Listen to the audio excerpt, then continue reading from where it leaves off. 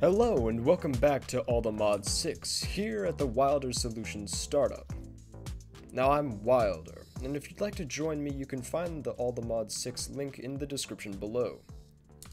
Now last time we set up this automatic farm, generating me vast amounts of materials with diamonds, osmium, iron, redstone, and coal.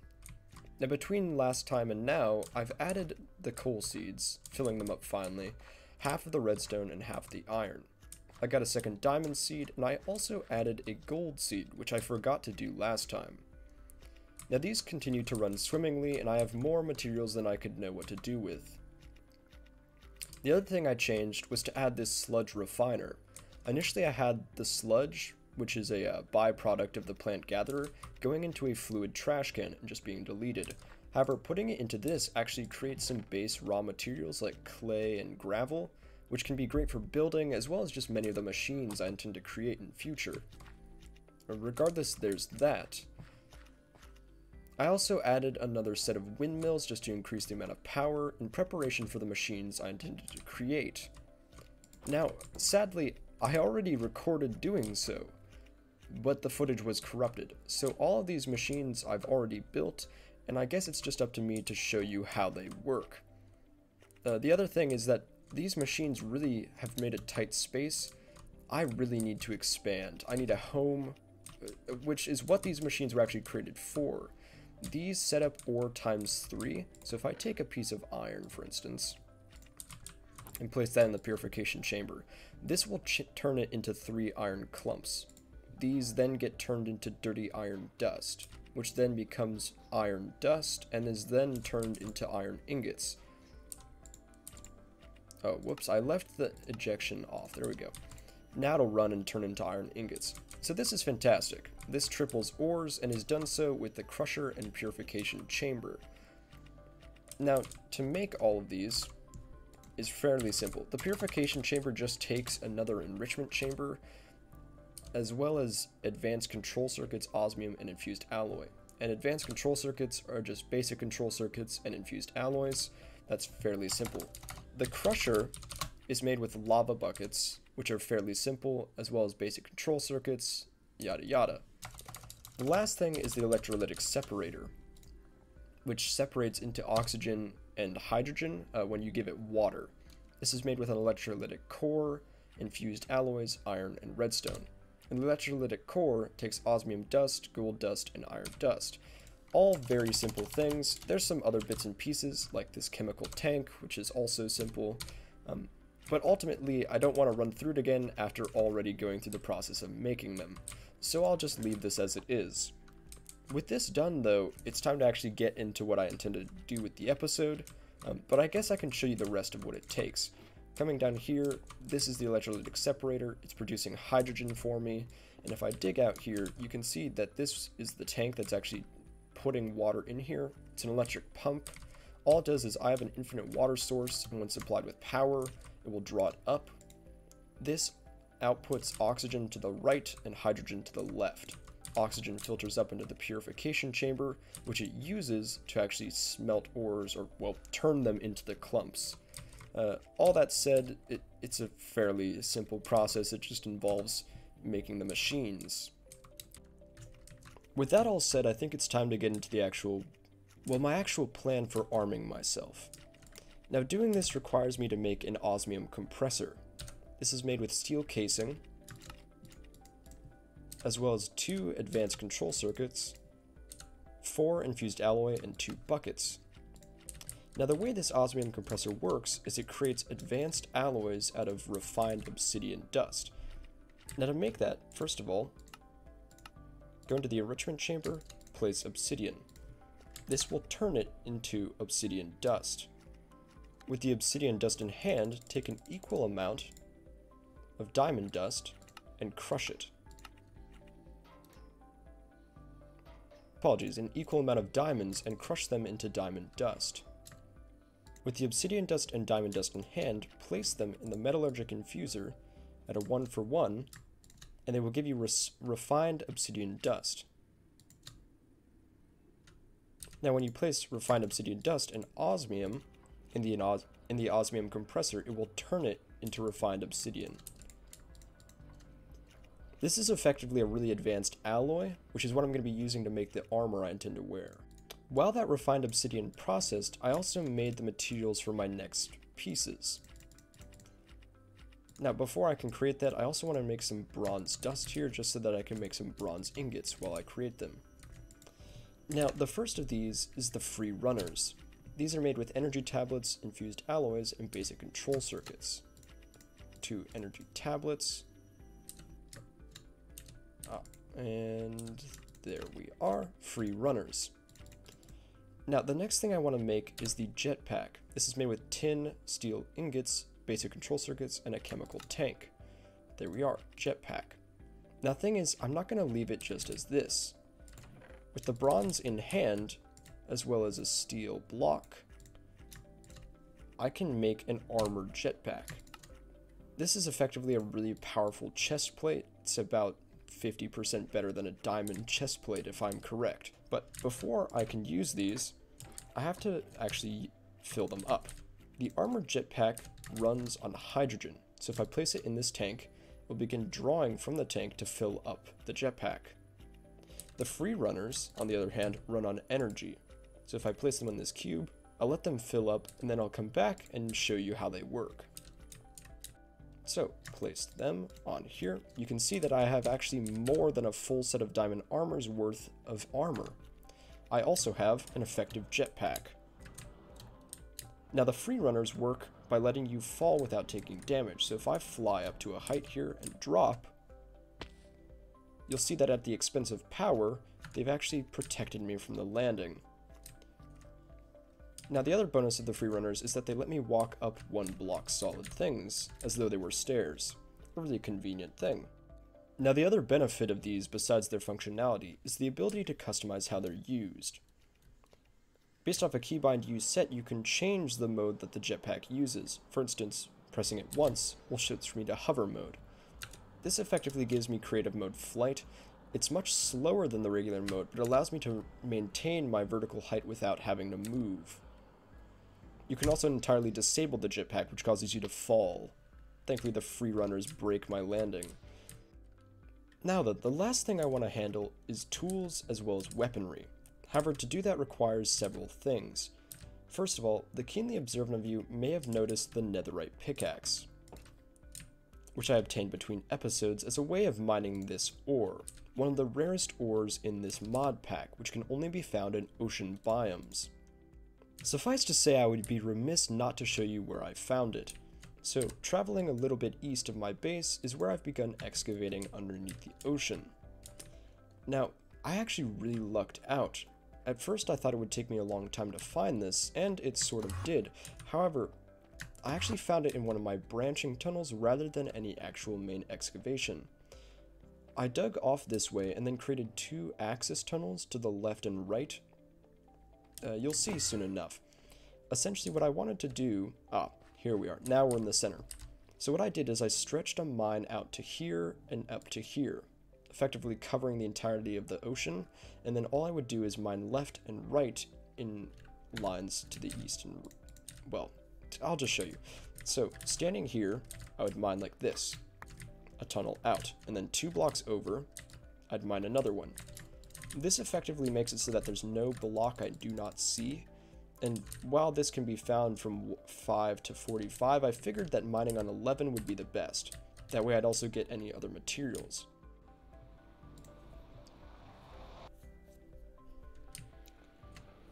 For those of you left wondering why I didn't mine all the ore in that mine, it's actually just because of something I have planned in the future, which would make that a little redundant. Nevertheless, I'll show you the next part, Mining this takes a netherite pickaxe. And to do that, I dug down into the nether on the nether floor, around Y11 or Y14. Ah, here we are.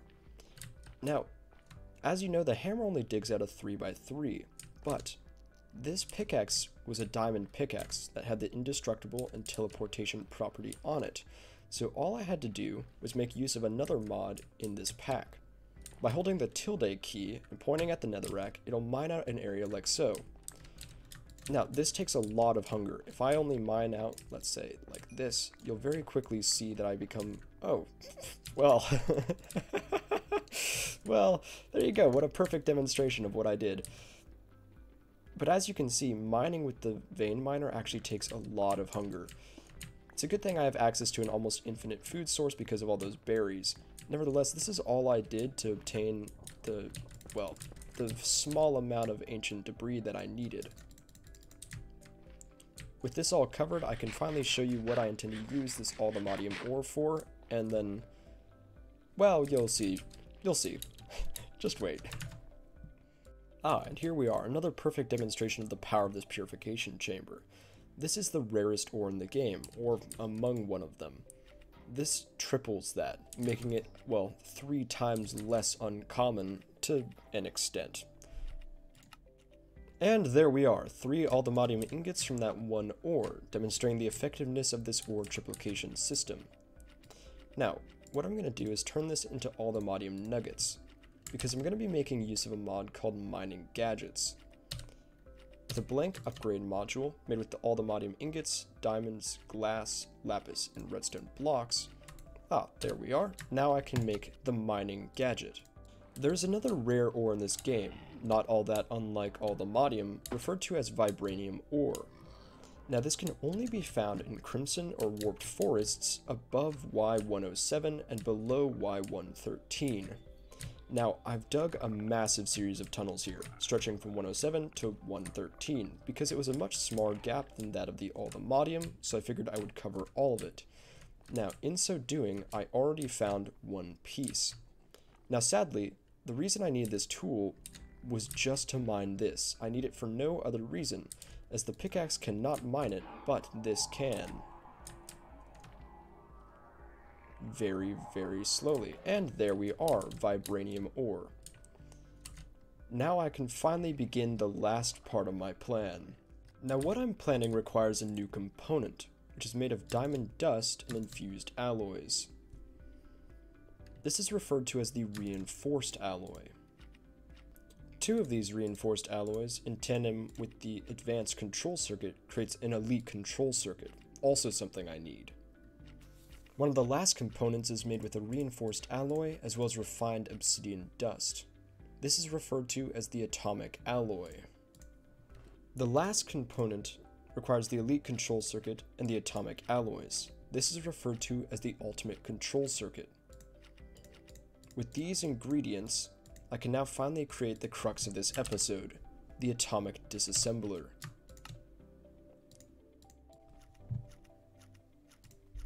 With this in hand, I now have the near ultimate tool of this mod. And I can show you how it works. Now, first of all, if you hold shift and scroll, it will swap between the modes. You can also hold N and cycle through them. Now each of them have their own properties. The normal mode is a digging tool, and mines fairly quickly, especially with dirt and other such materials. The next mode is slow, for more precise mining, especially with things that take probably a little bit more time. It also takes less energy than the normal mode. The next mode is fast, which digs incredibly quickly. I'll demonstrate this with a block of obsidian, which it mines almost instantly, or near enough. The last are vein and extended vein, which require me to show you in a different climate. I return once again to the netherite mine, now, the vein mode allows you to mine like this, and it will break every connected block of the same type. The last type, extended vein, allows you to do so with more blocks, meaning that I can do the same thing I did with the vein miner before, except with netherrack, and it will mine it almost instantaneously. Now, I'm not sure of the relative redundancy of this. If I switch it to slow and do the same vein, it will run at the exact same, slightly slower, but take less energy, all at the expense of food. I suppose that there's ups and downs to each side, eh, depending on how much food I have, but regardless, it is something to be aware of. The last effect of this tool requires me to travel a little further south, to the place that actually convinced me to make all of this equipment. I died several times in this nether fortress, but this tool acts as a really effective weapon, capable of one-hitting most creatures.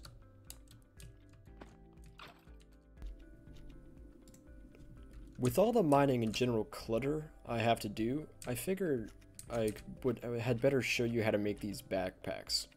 Now I already had this one, but the small backpack is just made with string, leather, and wool. And then to upgrade it is the same process. Where you go this, and then this. Suddenly I have both of these, which give me just insane amounts of storage. And the best part is I can put them in this backpack. Now I feel like at some point I'm gonna rip a hole in open in space-time or something by doing this, you know, like infinite density or whatever. Uh, but up until that point, I'm perfectly happy to have, you know, several times the amount of inventory space. Now, I mentioned using this for mining, but I'm actually going to be using it for something else.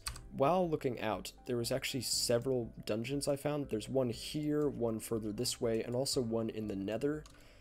I don't want to make a habit of of doing this, but I've I've just I've gone through so many people already. I feel like now that I finally have tools to do it with, it makes more sense. I actually got these in the nether. I thought these were actually really sweet. And unlike the shields, they're actually banners.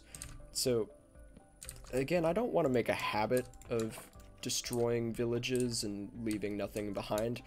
But also, I do enjoy all that it gets me. So we'll just we'll just keep this between us, all right? So yeah, I'm gonna go do that and come back and then celebrate my victory like Scrooge McDuck by swimming around in uh, all my money. So there you go. Uh, one moment. I returned from the three dungeons I conquered with all the loot that they bear. However, upon my arrival, I discovered a very distinct problem.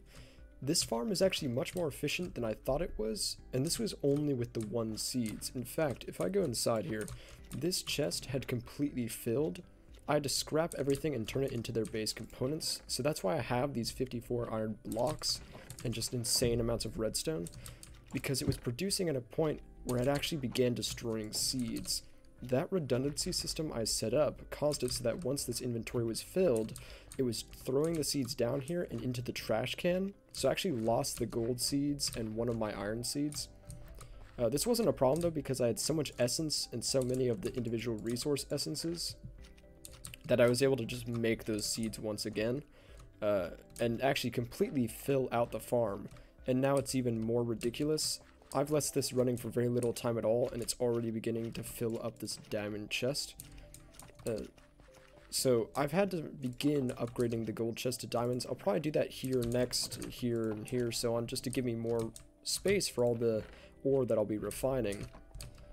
Besides that, I guess I can show off all the loot I got from the dungeons.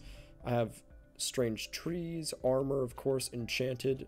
These two backpacks I brought with me allowed me to actually hold a lot more, which meant I didn't have to get rid of a lot of things, which is both good and bad. It means that I have everything from the dungeon, but it also means that I have just a lot more to sort through, which I haven't as of yet. There's like stone bricks in all these chests, so on and so forth. But many of them have enchants that are actually really useful. Uh, particularly things like indestructible, auto smelt is always nice, uh, various armor enchants that I don't know what they mean. So I think my general plan is to sort through this all and eventually ponder out which of the enchantments I'd like to keep. Like teleportation is really fun, so keeping that for sure. And then using them, I'll find some way of taking them off of these items and and putting them on tools that I actually want to keep, and then maybe scrapping or burning them down to their base components, because I'm certain I can turn like an iron helmet into five iron or something. Uh, other way, I have more banners from my fallen companions who I've uh, gently uh, slaughtered, I suppose. I really need a place to store these, I guess, like some sort of war room. Either way, I really need to sort through all these and figure it out. But besides that, I've completed everything I intended to do. While I would like to deal with the fact that I have no room for anything, I'd like to never have a backlog again with this chest so that there's no issues, and I want to be able to store infinite things. I also want to get major mining up and so on and so forth. But the biggest issue is the fact that I'm still sleeping in this tiny shack, and it's not even able to store me anymore. Like, the fact I have to sleep up on this little rafter just isn't going to cut it. So I think next episode I'm going to figure out housing, and other such things. Um, but regardless, I've completed all I intended to do, kitted out to the nines with everything that Mekanism has to offer as of yet. I'm now ready to begin constructing everything that I intend to do to build up the Wilder Systems compound. Until then, I've been Wilder, and I will see you later.